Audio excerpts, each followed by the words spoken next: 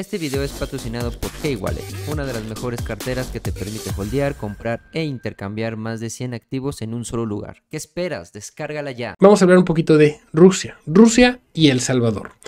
Y como saben, ha habido varios intentos de parte de los BRICS de crear un sistema alterno, un sistema alterno que pueda cambiar la forma en que funciona el mundo, un sistema alternativo al sistema SWIFT.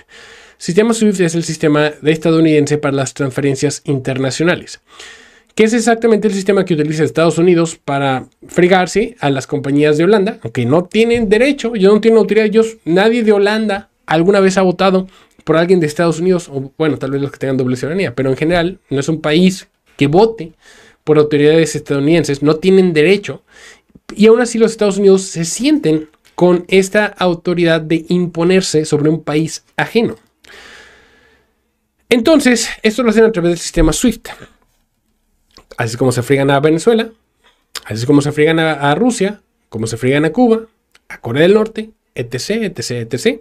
Bueno, de hecho, así es como se han fregado a México. A México, a pesar de que aquí son medio agachones, luego de repente este Rogelio de la O, pues a México también nos tienen fregados el puerto, el puerto este de, ¿cómo se llama? Punta de Ciervo, Punta de Ciervo.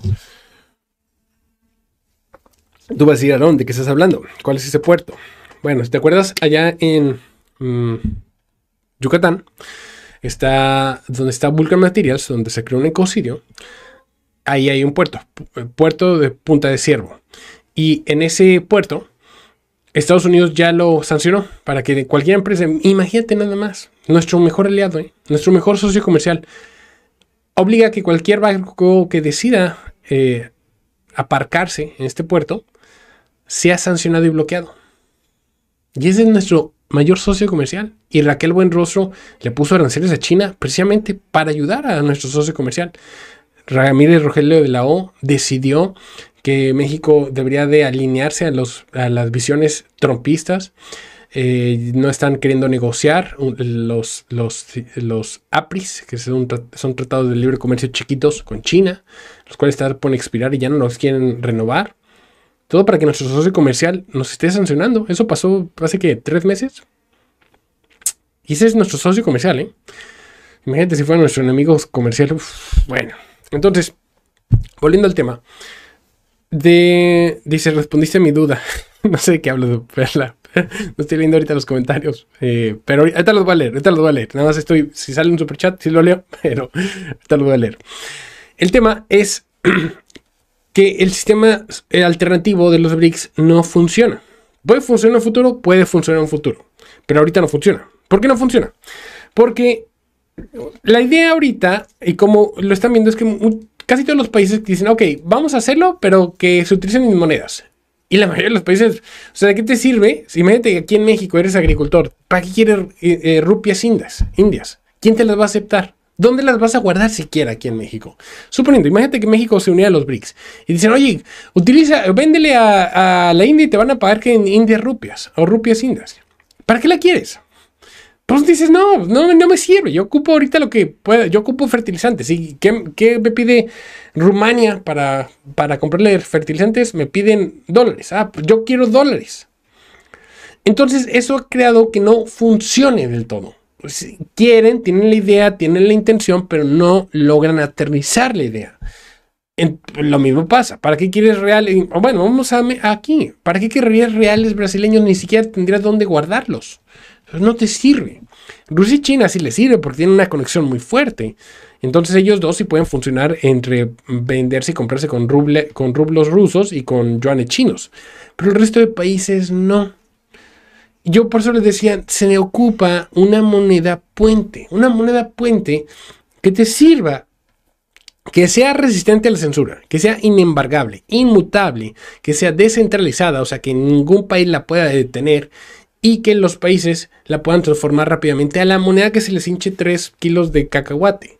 Lo que se les antoje a ellos. Si los quieres tener en dólares, en dólares. Si lo quieres tener hasta en, en oro, pues se puede transformar rápidamente en oro.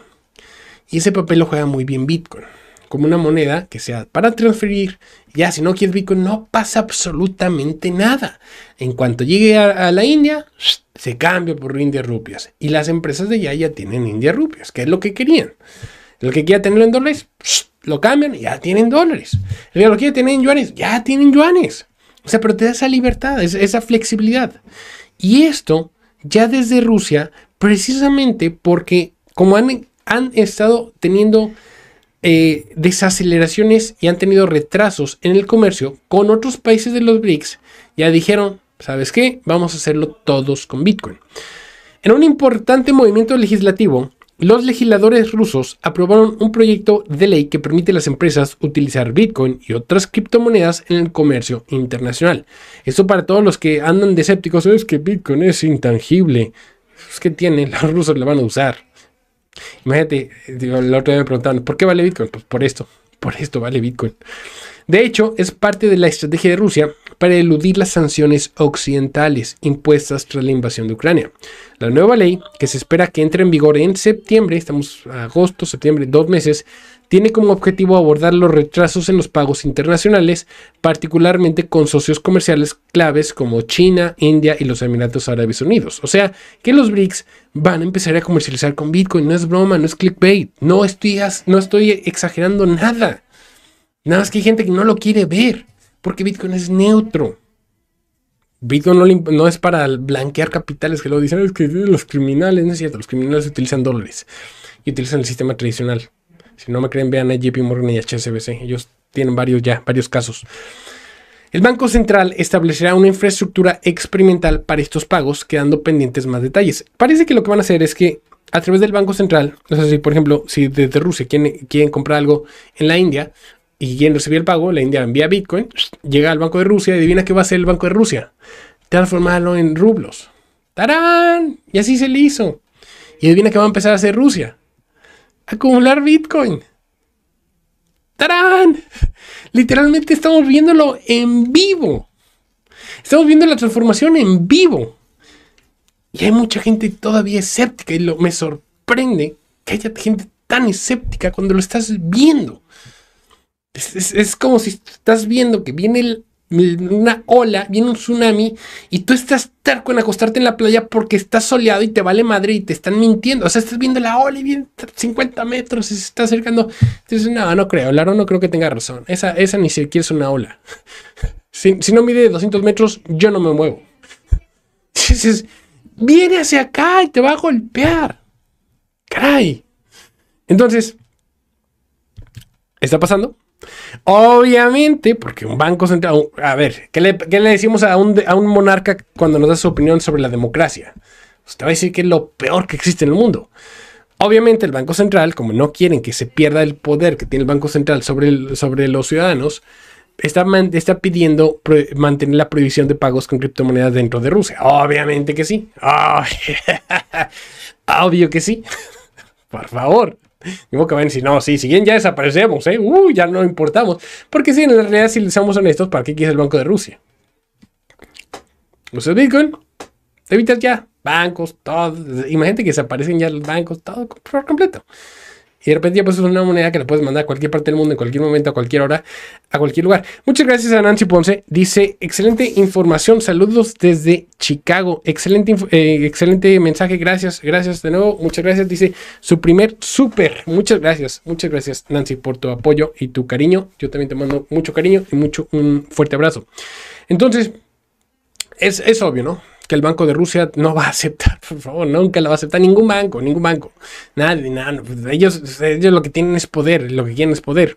Entonces, aquí lo curioso es que salió que El Salvador quiere empezar a hacer más comercio con Rusia, porque recuerda que El Salvador ya tiene a Bitcoin como, como moneda de curso legal. Y tendríamos que empezarían a hacer comercio, pero en Bitcoin. No es clickbait, no estoy exagerando, no me lo estoy inventando, no es fake news. Un diplomático ruso reveló sobre las discusiones con el gobierno salvadoreño para emplear criptomonedas como Bitcoin en los acuerdos comerciales entre ambos países. ¿Te acuerdas que yo te venía diciendo que en el juego, en el macro juego de la historia de las monedas, eventualmente las monedas de respaldo iban a ser utilizadas entre los bancos centrales. Pues estamos en esa etapa. Estamos en la etapa donde los bancos centrales ya van a empezar a utilizar el Bitcoin como una moneda de curso legal.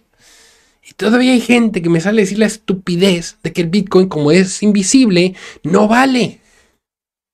Estamos literalmente, ese es el tsunami. Está la ola de 300 metros enfrente de ti. Y hay gente que sale a decir, es que yo no creo, es que hasta que no lo regularicen, yo no lo voy a aceptar. No lo aceptes. ¿Crees que al Banco Central de Rusia le importa lo que piensen los no coiners? ¡Ja! ¡Ja! Se ríen. ¿Tú crees que al Banco de El Salvador le importa? ¿Qué opina una persona que nunca ha leído una sola, siquiera página de, economía? Y sale eh, como experto, si no, yo, yo veo que es una estafa Ponzi. Pues no, no les importa, el mundo está cambiando y está cambiando rápidamente y está cambiando de manera veloz y eso ya no va a tener vuelta atrás. Y el que entendió, entendió y el que no se quedó atrás.